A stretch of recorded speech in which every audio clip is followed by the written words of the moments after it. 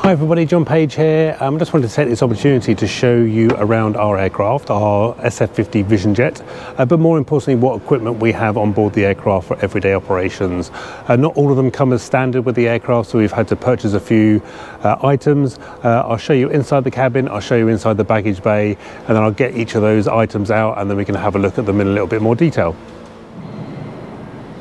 So let's step up into the aircraft, into the main cabin, and have a look and see what pieces of equipment we have. We'll start in the rear of the of the cabin. Um, we do have headsets for every uh, seat. Uh, our aircraft, as you can see here, is set up in a five-seat configuration, uh, rather than either a four-seat and a console or seven seats. Um, we do have headsets. We tend to keep them on the seats rather than put them on the headrests we do find that the cups here get a little bit damaged if they're up on the head on the headrests because there's so much compression on there. So we do try and keep them on the seats as much as we can. Um, here we have an AirSync box which downloads all the data out of the aircraft. Really really useful for tracking and monitoring the aircraft and its uh, engine. Um, here we have a travel john we don't have a potty on board the aircraft or a toilet, so therefore there is a travel john here. Uh, very rarely need it, but uh, but or I've never had to use it actually, but it's there if required. Uh, also high vis jacket, that's quite important, especially in the United Kingdom. Uh, walking out of your aircraft over to an FBO or a handling agent without a high vis jacket can get a, a few um, fingers wagging. Uh, parts NCC RVSM minimum equipment list manuals for our aircraft. Our aircraft is uh, American registered. It also has all the letters of authorization to allow us to utilize the RVSM and the MEL manuals and Part NCC is required in the UK and Europe. We've also got our Garmin manual there as well. Blanket just in case somebody's getting cold or fancies a bit of a sleep, not the pilot. Um, we've got a start stick in here that must be kept inside the cabin because it must be accessible uh, all the time. I'll get that out and explain a little bit more to you about that in a minute.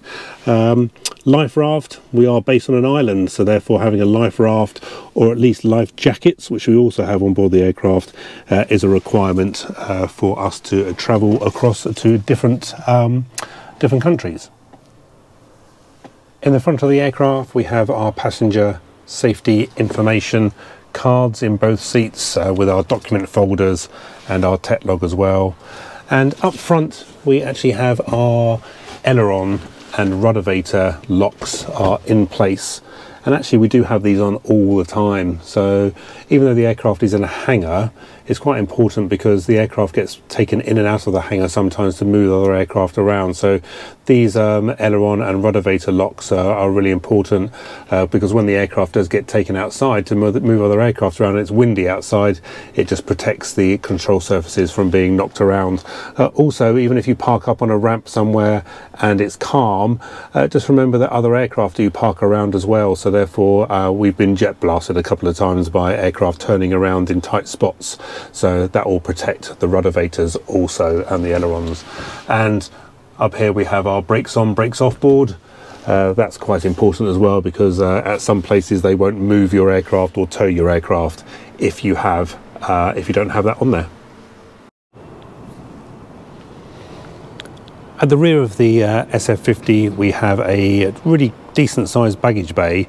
Uh, it's not accessible from inside the cabin and it's also not pressurized either so we need to be very aware about what we put inside here. We do have a ladder and a tow bar and some chocks. It's got a very nice mount up there as well which uh, helps us keep them in place and then the extended cargo tube or ski tube we have our caddy which we can pull out and inside the caddy we have lots of other equipment to help us uh, on everyday operations. So here's our start stick. What is a start stick? Well, it's a very big battery basically. And if I crack it open here and turn it on, basically what we have this for is uh, if we're down route and we're at a smaller airport, we don't have a ground power unit and we need some extra power for the aircraft, then we can uh, utilize the start stick and plug it straight into the auxiliary, uh, the external power of the aircraft. Just turned it on here. You can see uh, it says it's got 92% power, which gives us plenty of starts. And uh, also in here, we've got uh, um, a cord that we can utilize for recharging it. But yeah, the start stick is quite a big lump And uh, here it is. So it's a Start Stick 15, and uh, I'll show you now how we plug it into the aircraft.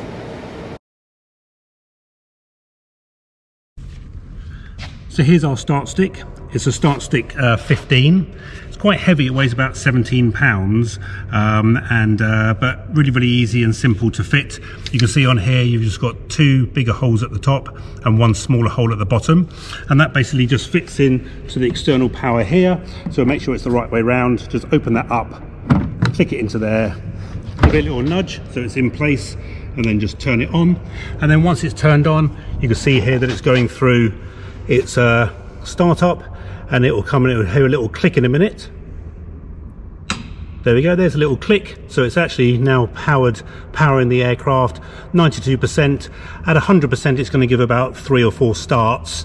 And uh, here you can see that we've got 26.4 volts uh, on the start stick as well. So really really great piece of equipment to have. If you're down route and you're lacking in the actual aircraft battery power supply then you can plug this in. The only thing you've got to remember is that once you've started the engine you've got to have somebody to come along and actually remove it for you. But um, really, really great piece of equipment to have on board the aircraft, just in case you're stuck down route at an airport that doesn't have uh, a GPU or any external power supplies.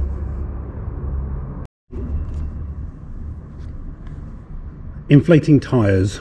Now the trouble is sometimes when you're around and down route you have no way of inflating your tyres. So what I've got here is I've got uh, a really really lovely portable tyre inflator it's a Bosch tire inflator. Says easy pump, really, really uh, easy to utilize. Uh, we keep it fully charged in the aircraft and um, oh, just turn it on with the red button. So there we go, we can see it's fully charged and uh, really, really nice to have. Not expensive, about 80 pounds or so. It can pump up to 120 PSI. Really, really useful piece of equipment to have on board the aircraft. And I'll show you now how we inflate the tires with it. So here's our tire inflator. Um, like I said before, it's a, a, Bosch one, really, really great to use. It uh, charges via USB-C and uh, we can turn it on. There we go, you can see it's uh, nicely fully charged. 105, uh, I've got a preset there. Uh, it actually inflates up to 120 PSI. And we can see here on the uh, tyre on the wheel it says 105 psi plus or minus 5 so uh, let's have a look and see how this tyre is doing because they do lose a little bit of pressure over time. So all I'm going to do on here is just uh, undo the dust cap. So take that off and then plug this in to uh, the tyre so just screw that on quite nicely. There we go. So go on and there we go. We're at uh, actually 90 so therefore I'll just put a little bit of air and you can just hear what it's like. So I'll just start that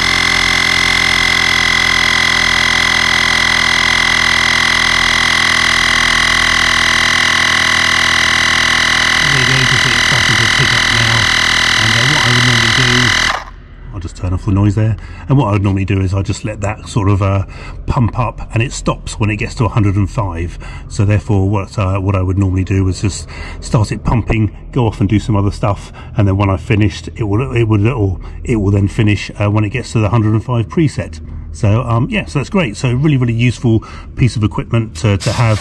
I'll inflate those tyres a little bit later on because I know that you won't want to sit here and uh, watch a a tyre inflating and I'll just put the dust cap back on and then we'll all be good. So yeah, I'll do that a little bit later on, but really, really useful piece of equipment just to have on board the aircraft uh, in the caddy at the back.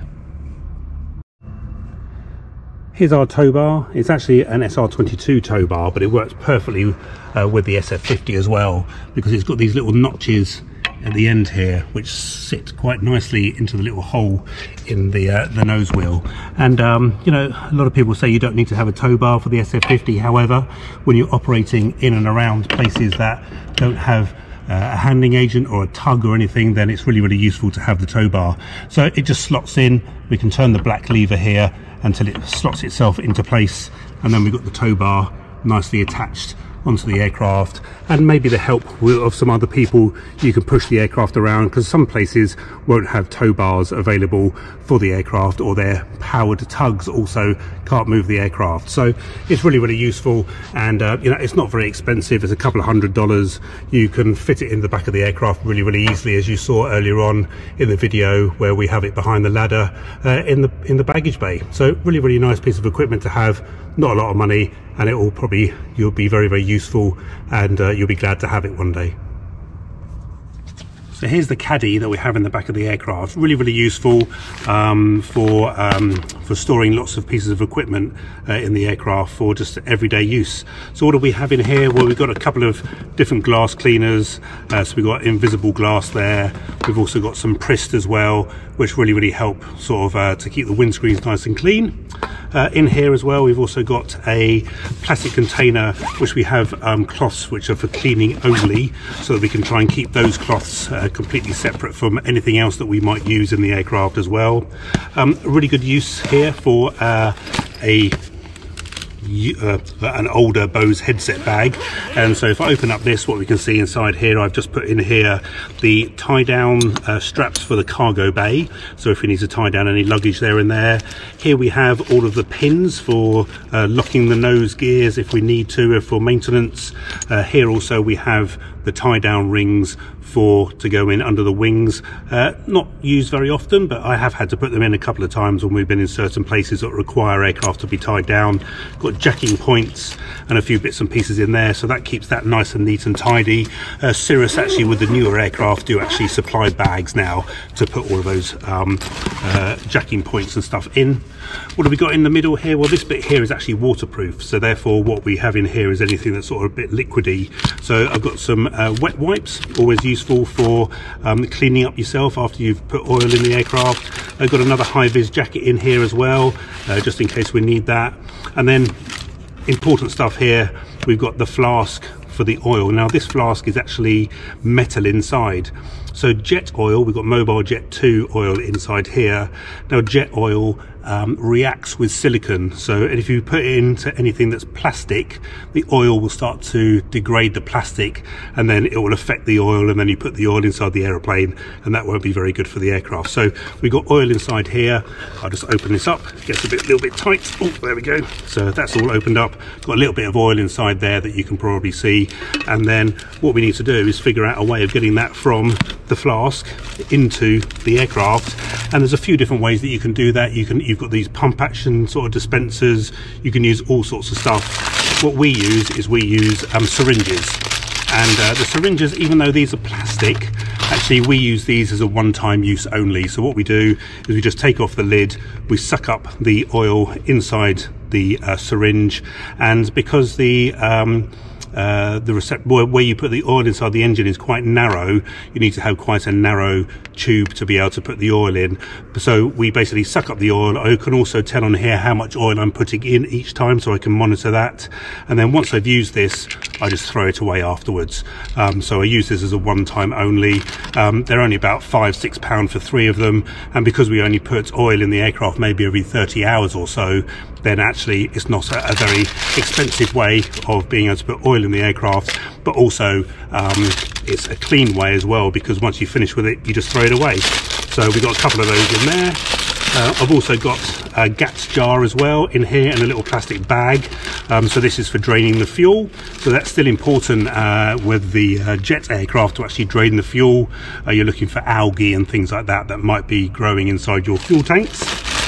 Also in here as well, I have uh, a little bag and in the little bag I have a screwdriver which is going to be useful for me to open up the uh, oil flap. Uh, the new aircraft have a poppers now so but the older aircraft still needs a Phillips blade screwdriver.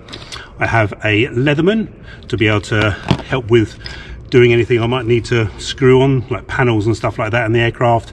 I've also got an oil opener as well for the oil cans when I need a fresh can of oil. Then what I do is when I open a fresh can of oil, I actually put it inside the flask. So, um, so yeah, so I've got a little bag there with a few bits and pieces in, which are always very useful. And then over here, I've got a box with um, some paper funnels in, which in case I run out of syringes, then I've actually got paper funnels again. I can utilize those and then throw them away. Here I've got a garden spray um, a garden multi-purpose spray.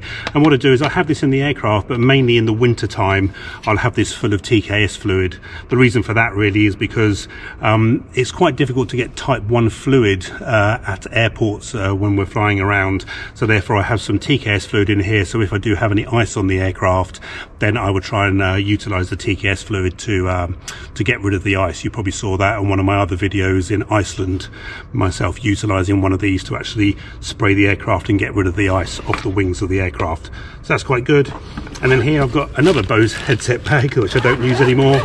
And what I have in here, I've got some spare travel johns, just in case they get used in the aircraft. But also here I've got the ratchet straps for tying down the aircraft if I need to, if I'm down route at an airport that requires me to have the aircraft tied down, or if I think it's going to be windy.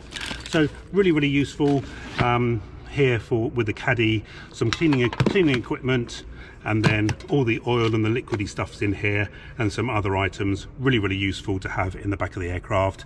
And it fits straight into the extended tube as well. So therefore it leaves the cabin uh, the baggage bay open for uh, baggage the ladder we have for the aircraft is really, really lovely. It's really, really thin, which is great, so it slots into the baggage bay really nicely. It literally weighs a couple of kilos, so in fact it, it takes up no uh, space or weight for uh, in the baggage bay. And then it opens up really, really nicely and very, very simply into sort of like three steps. So you can put this next to the aircraft and then utilize it to get up into the oil and uh, put the oil in with our syringe. So really, really lovely purchase. Uh, it's not a lot of money. It's sort of like 30 pounds, 40 pounds. Uh, folds up really, really simply. I can take it and put it back in the baggage bay. So how do I get the ladder back into the baggage bay? Well, really, really nice and simply. It just slides in. We always go to the top of it first to slide that back into there and it sits on here. We've got a little mount at the top here and we've got a little bungee strap. The bungee strap quite simply just clicks onto the edge of the ladder here and then we wrap that around there as well. And then we click this onto the ladder as well and it's nice and secure as in, in place. And I just pull it out very very slightly. Then take our tow bar and just slide the tow bar in behind. There we go. And I've got our chocks there and then we got the tow bar the ladder and our chocks all nicely in the back of the aircraft, leaving plenty of room for bags and our caddy is back there as well. Hope you enjoyed watching my short video on a few of the items that we have on board our SF50.